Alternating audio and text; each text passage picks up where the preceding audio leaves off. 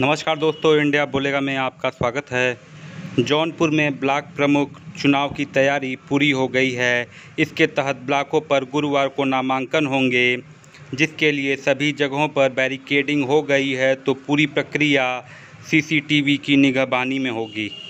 21 ब्लॉकों के लिए पहले से गठित एआरओ ने अपनी ज़िम्मेदारी संभाल ली है। नामांकन व चुनाव को लेकर ब्लॉकों पर भारी सुरक्षा फोर्स मौजूद रहेगी।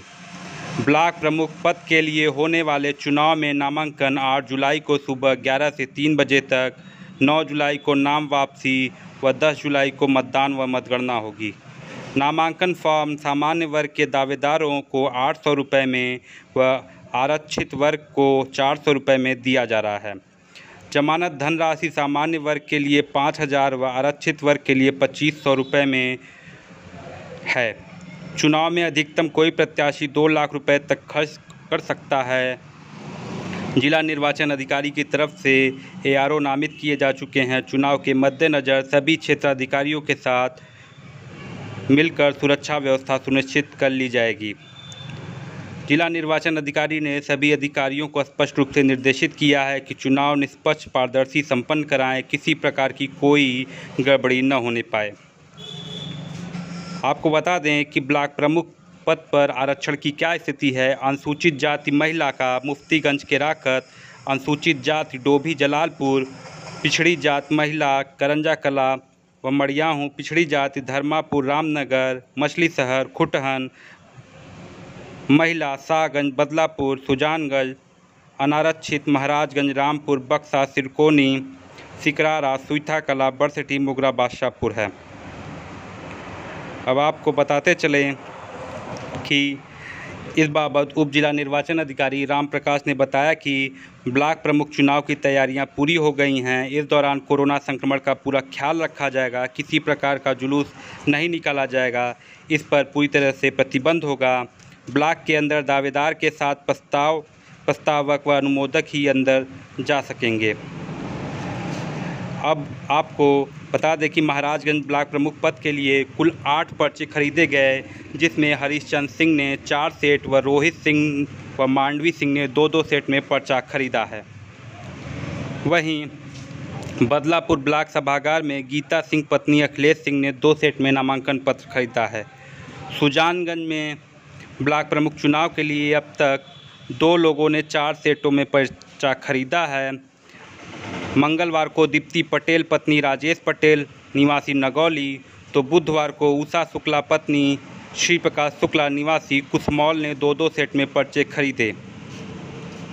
वहीं बरसठी ब्लॉक प्रमुख पद पर नामांकन करने के लिए पारसनाथ यादव की बहू व वर्तमान प्रमुख वार्ड नंबर सैंतालीस से अर्चना यादव ने दो सेट में पर्चा खरीदा।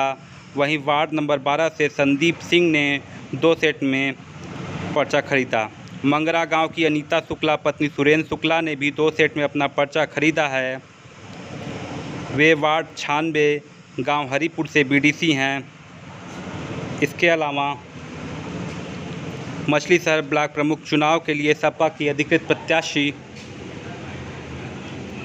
गोपेश यादव ने जमालपुर से एक सेट में नामांकन पत्र खरीदा। वहीं ब्लॉक प्रमुख चुनाव के लिए नशीम आलम रामपुर चौथार से दो सेट में भाजपा की अधिकृत प्रत्याशी बीना पटेल, पत्नी राजकुमार पटेल ने हिरावनपुर से दो सेट में नामांकन पत्र खरीदा। वहीं खुटहन से सरयू देव देई सपा की घोषित प्रत्याशी सरयू देई व दूसरे प्रत्याशी ब्रजेश यादव ने दो सेट में नामांकन पत्र खरीदा। वहीं बक्सा से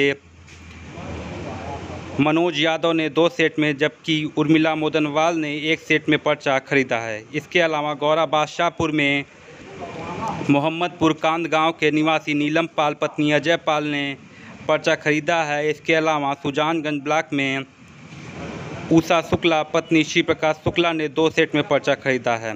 बक्सा ब्लॉक में में मनोज यादव का आपको पूर्व में बताया जा चुका है। वहीं जलालपुर ब्लॉक में दो सेट में पर्चा खरीदा है बादामा देवी व एक सेट में परमशिला देवी व दो सेट में कमलेश कुमारी ने पर्चा खरीदा। किराकत ब्लॉक में मात्र एक प्रत्याशी सरोजा देवी ने दो सेट में पर्चा खरीदा है। मुगरा बादशाहपुर ब्लॉक में सत्येंद्र सिंह फंटू ने तीन सेट, चमेला देवी ने दो सेट, पूजा दुबे ने एक सेट में पर्चा खरीदा है। वहीं मुफ्तीगंज में मीला देवी पत्नी संजय सरोज ने दो सेट उषा देवी पत्नी राजकुमार ने दो सेट में पर्चा खरीदा है।